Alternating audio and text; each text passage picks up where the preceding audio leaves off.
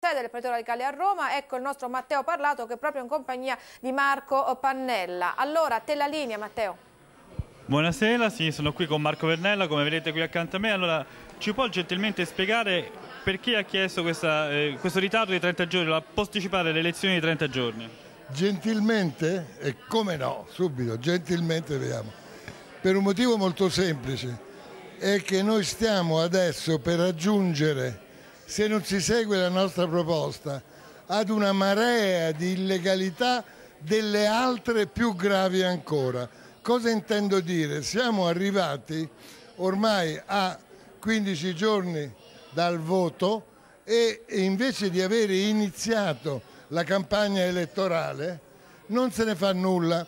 Ieri c'è stato un prima eh, mancato incontro eh, perché la Polverini non c'è nata, insomma c'era la Bonino.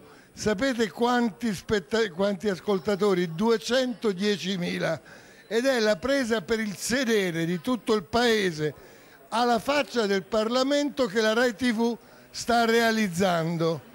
In questo senso, assolutamente, nel senso che il Parlamento, perché la Commissione di Vigilanza del Parlamento ha stabilito che ci sono quattro settimane di campagna elettorale e le modalità con le quali la RAI doveva farlo. La RAI è eh, assolutamente non solo inadempiente, ma per me responsabile di un attentato ai diritti civili e politici del cittadino. Allora dico, facciamo una sanatoria per tutti e non solo per un paio, per tutti quelli sul piano delle firme, quelli che sono arrivati e hanno depositato la roba e così si appiana per tutti, non c'è Roma, Milano, Napoli, eh, eccetera, e poi magari chissà cos'altro.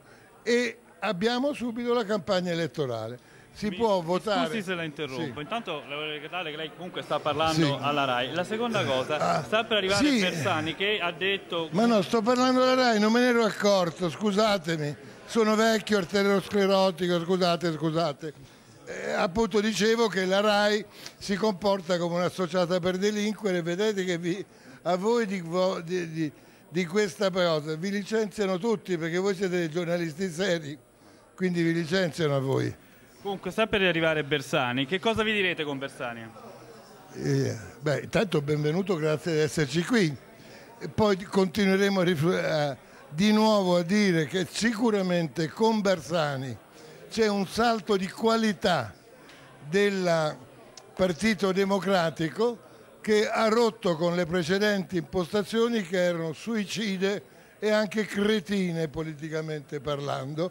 Quindi questo lo diremo. Poi se non siamo d'accordo su sabato questo obiettivo, noi eh, ha un obiettivo contro il cattivo, contro Berlusca, quello non capisce più nulla e io non infierisco contro chi non capisce più nulla, come chiaramente il mio carissimo Silvio. No, noi vogliamo invece un obiettivo. L'obiettivo è rientrare nel massimo di legalità e di ragionevolezza possibile.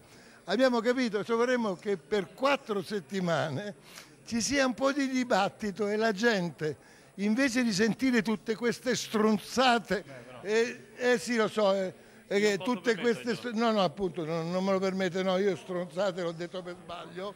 Se non avete altre domande, scusate, sì. ma... Grazie Matteo domande? Parlato, Grazie. vedremo quindi il dibattito politico come proseguirà. Sentivamo uh, anche di Bersani che sta per arrivare dai radicali, Bersani che dice